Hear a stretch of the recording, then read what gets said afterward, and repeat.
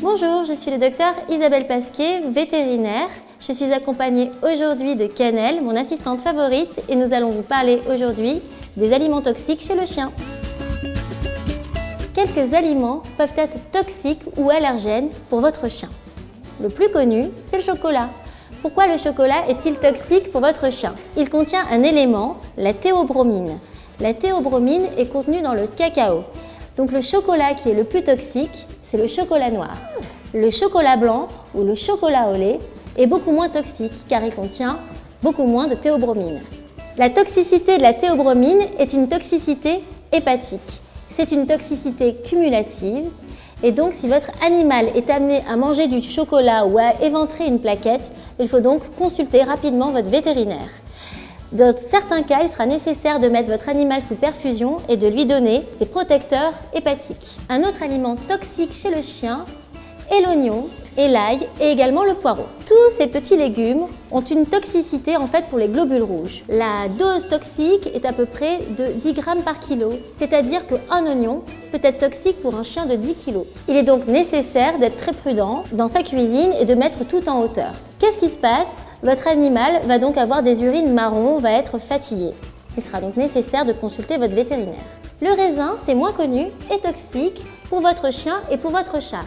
Il contient un élément qui a avoir une toxicité digestive et également une toxicité rénale. Le raisin sec, qui pour le coup est concentré, est encore plus toxique. Pour un chien de 10 kg, on considère qu'une grappe de raisin peut être toxique. Il est donc nécessaire de rapidement consulter votre vétérinaire en cas d'ingestion de raisin par votre chien en grande quantité. L'avocat est également toxique pour votre chien. Tous les éléments de la plante sont toxiques, mais les intoxications sont surtout liées à l'ingestion de la chair de l'avocat. L'avocat est aussi toxique chez le chat et chez les oiseaux. La consommation de l'avocat entraîne chez le chien des troubles digestifs, des troubles respiratoires et des troubles cardiaques. Les pommes de terre sont également potentiellement toxiques chez le chien, mais pas n'importe quelle pomme de terre. Ce qui est toxique, en fait, c'est surtout les pelures de pommes de terre, les pommes de terre verdies ou les pommes de terre qui ont germé. Pourquoi? Parce qu'en fait, elles renferment une substance qui s'appelle la solanine et qui est un puissant irritant pour le trouble digestif. On verra apparaître donc des troubles digestifs, des vomissements et de la diarrhée, et parfois des troubles neurologiques. Attention à certains aliments qui peuvent être dangereux, qui ne sont pas toxiques, mais qui peuvent être dangereux, comme par exemple les os.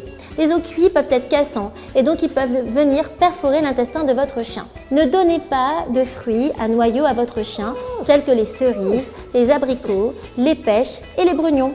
Les noyaux de ces fruits peuvent entraîner une occlusion de l'intestin, ce qui doit être donc après rapidement pris en charge par votre vétérinaire. Dans votre cuisine, surtout, pensez à mettre en hauteur les poubelles pour éviter les accidents. J'espère que ces conseils vous auront été utiles. En cas de questions, n'hésitez pas à contacter votre vétérinaire et retrouvez-nous sur la chaîne Doctissimo. À bientôt